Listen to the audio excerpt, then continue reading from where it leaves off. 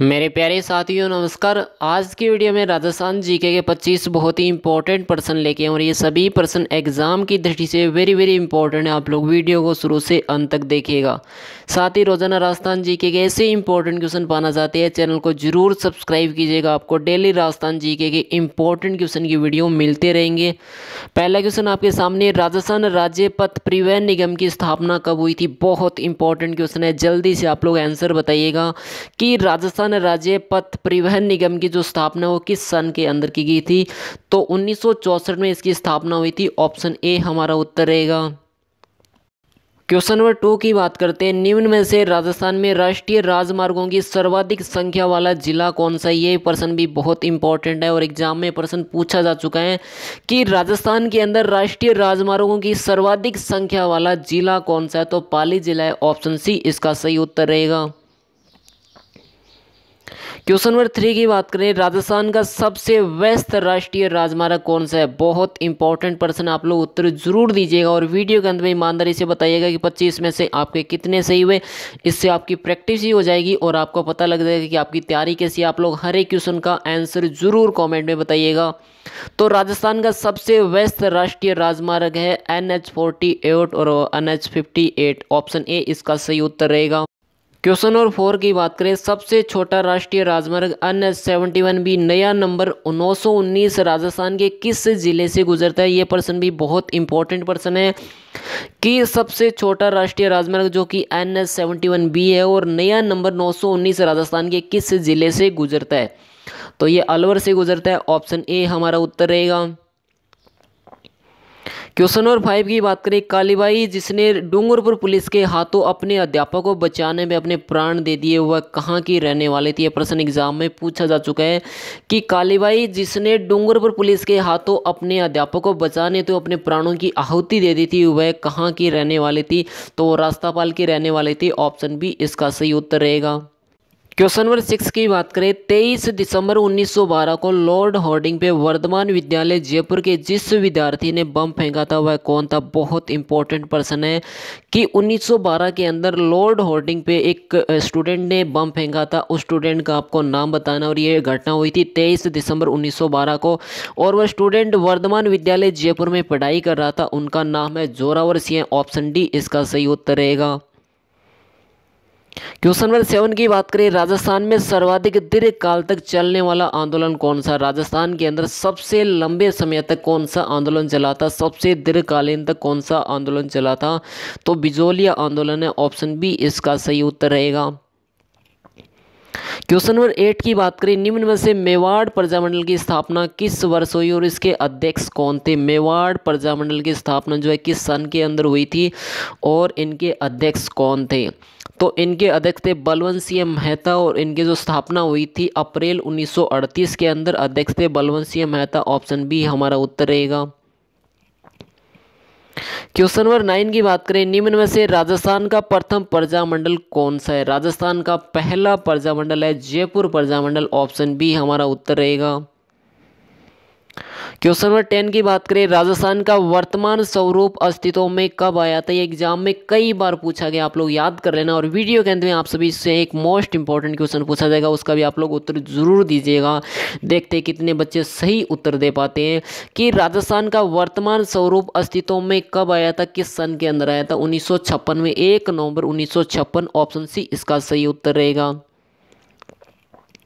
Question number ग्यारह की बात करें, निम्न में से राजस्थान का पहला किसान आंदोलन कहाँ हुआ था? राजस्थान का पहला किसान आंदोलन कहाँ पे हुआ था? तो ये बिजोलिया के अंदर हुआ था। ऑप्शन बी, इसका सही उत्तर रहेगा। क्वेश्चन नंबर बारह की बात करें, निम्न में से बिजोलिया किसान आंदोलन में किस जाति के किसान सर्वाधिक थे? बिजोलिया किसान आंदोलन के अंदर किस जाति के किसान सबसे ज़्यादा थे?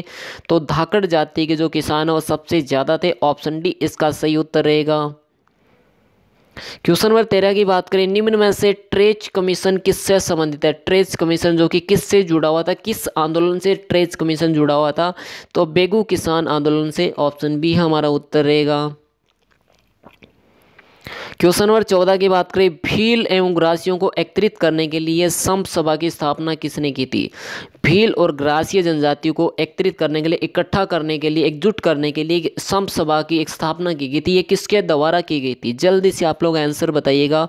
और राजस्थान जी के कैसे ही इंपॉर्टेंट क्वेश्चन पाना चाहते हैं सब्सक्राइब करके आज ही बेलाइकन को ज़रूर दबा लीजिएगा। आपको डेली ऐसे इंपॉर्टेंट क्वेश्चन की वीडियो ज़रूर मिलते रहेंगे। तो गोविंद गुरु ने ऑप्शन भी इसका सही उत्तर रहेगा।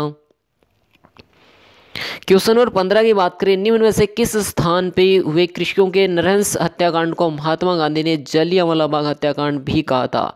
देखिए, एक स्थान के अंदर जो है वहाँ पे किसानों को बहुत बुरी तरह से मारा गया था, उनका हत्याकांड किया गया था तो महात्मा गांधी ने जो है उसे जलियांवाला बाग हत्याकांड की संज्ञा दी थी। या उससे बढ़कर भी कहा था तो ये किस आंदोलन को या फिर किस घटना को कहा गया? निमुचना की घटना थी, ऑप्शन भी इसका सही उत्तर रहेगा। क्वेश्चन नंबर सोलह की बात करें निम्न में से किस महिला ने किसान आंदोलन का नेतृत्व किया था? किस महिला के द्वारा किसान आंदोलन का नेतृत्व किया गया था? तो उनका नाम था किशोरी देवी, ऑप्शन डी इसका सही उत्तर रहेगा।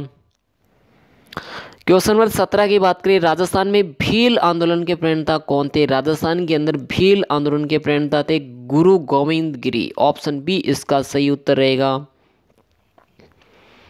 क्वेश्चन नंबर अट्ठारह की बात करें, निम्न में से वागड़ के गांधी कौन थे? देखिए, वागड़ के गांधी एग्ज़ाम में कई बार प्रश्न रिपीट हो चुका है। आपको याद होना चाहिए कि वागड़ के गांधी किसे कहा जाता है?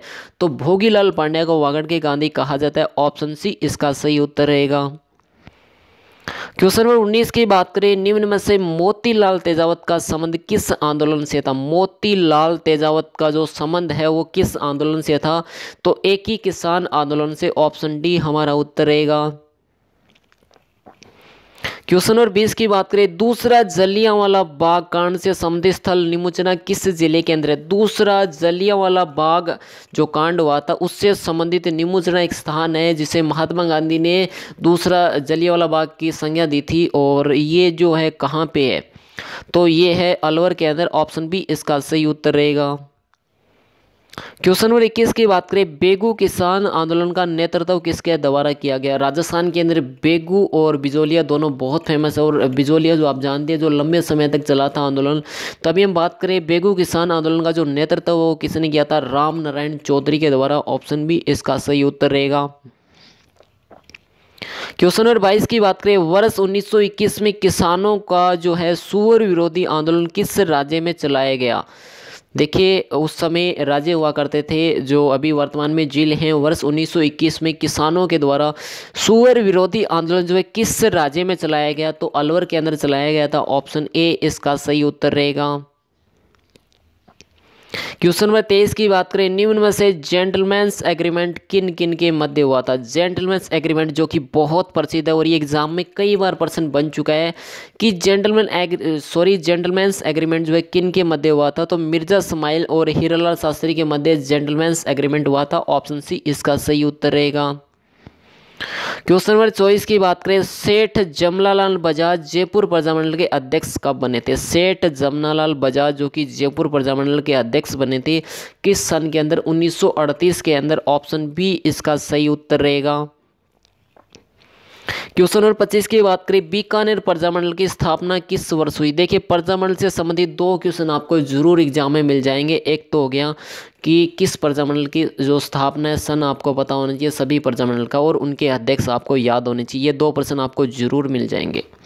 तो बीकानेर प्रजामंडल की स्थापना जो हुई थी 1936 के अंदर, ऑप्शन बी इसका सही उत्तर रहेगा।